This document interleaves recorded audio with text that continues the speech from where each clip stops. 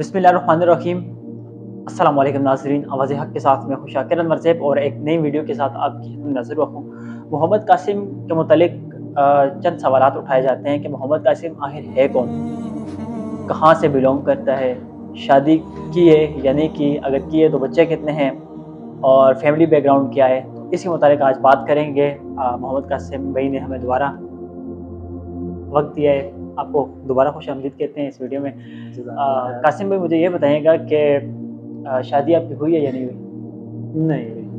ख्वाहिश है शादी की? बिल्कुल है और बहुत कोशिश की मैंने। अच्छा।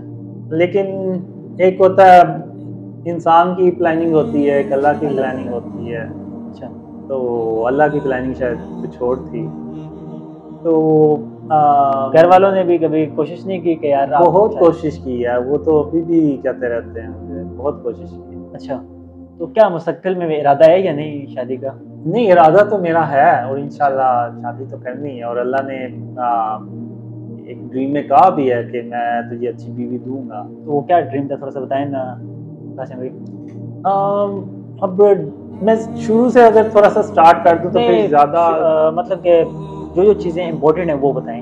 चले मैं इम्पोर्टेंट ही हाँ, बताता हूँ। क्योंकि उसके बगैर आपको समझ नहीं लगेगी कि आखिर मैंने मेरी शादी हुई क्यों नहीं है। क्यों नहीं? हाँ बिल्कुल बता दें। तो जब मैं सत्रह साल का था तो मैं कॉलेज में जाना शुरू हुआ फ़र्स्ट ईयर तो मुझे ड्रीम्स आना शुरू हो गए और ड्रीम्स में एक लड़की आना शुरू हो गई। अच्छा।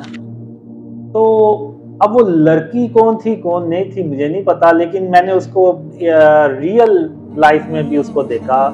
और जब मैंने देखना था तो मुझे ख्वाबों के ज़रिए से अल्लाह ने बता भी दिया कि तुझे ये लड़की नज़र आएगी। ख्वाबों में भी देखा और रियल लाइफ रियल लाइफ में भी मैंने देखा और जब मैंने रियल लाइफ में उसको देखा तो कान में ऐसे जैसे कोई कमेंट्री कर रहा है कि देख बिल्कुल वैसी ही लड़की है वैसी शक्ल वैसी हँसी वैसी आँखें सारा कुछ वैसे बिल्कुल वैसा ही जैसा कि अल्लाह ने तुझे ख्वाबों में दिखाया। अच्छा।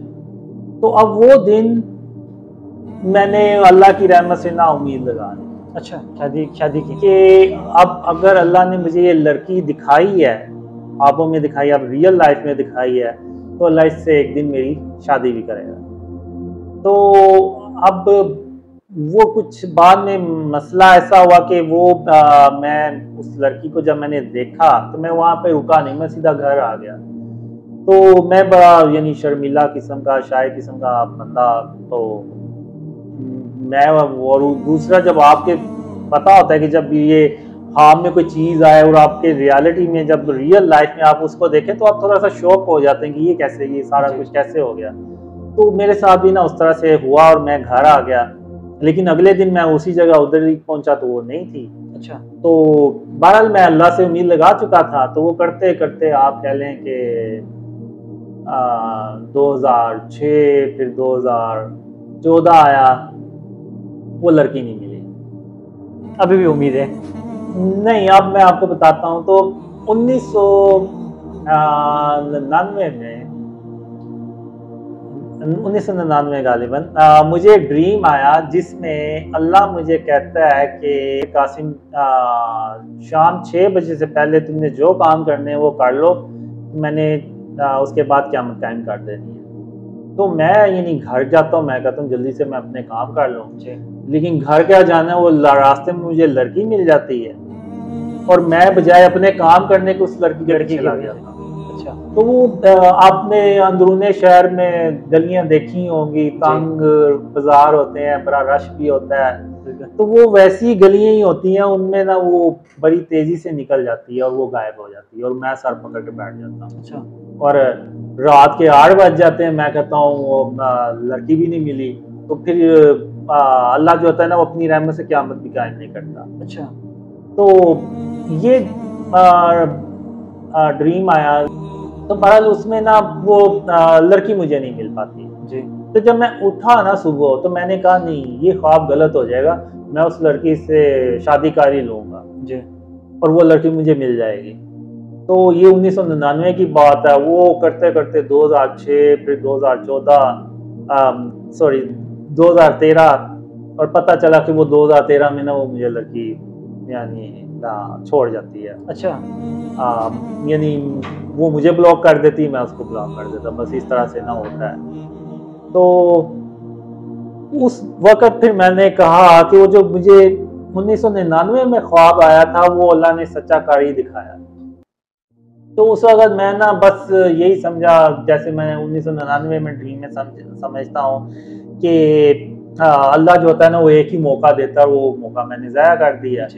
तो फिर जनवरी 2014 में अल्लाह ने मुझे बताया कि कासिम उस लड़की के ज़रिए मैंने तेरी 20 साल आजमाइश की। मैं देखना ये चाहता था कि तू अल्लाह की रहमत से मायूस होने वालों में से तो नहीं है। तो फिर मैंने इवन हाँ में भी अल्लाह से कहा कि हाँ तूने एक लड़की के ज़रिए मुझे क्यों आजमाया? तो अल्लाह कहता है कि कासिम मैंने इतनी इतने साल मैंने तेरी आजमाइश करनी ही थी चाहे उसका तरीका कुछ भी होता। जी।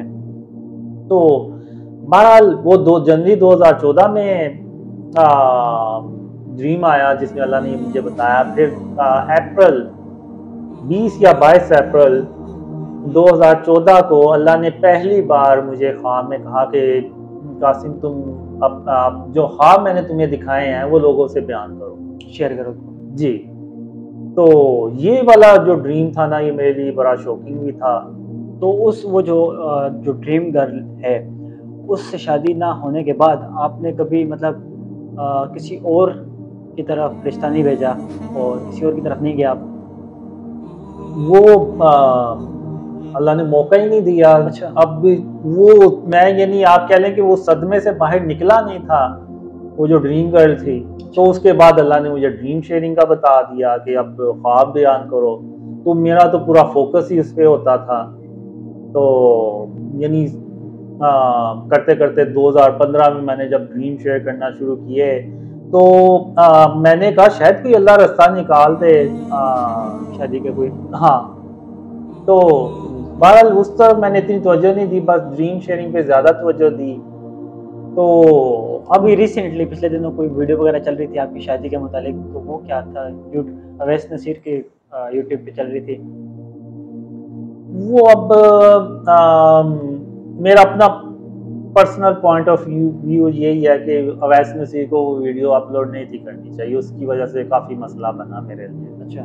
तो वो उसको नहीं थी करनी चाहिए। वो अब जो ड्रीम्स मुझे आए हैं अब अवैस नसीर ने पता नहीं उसको कैसे वो बयान किया तो मैंने वो वीडियो भी कोई इतनी नहीं देखी।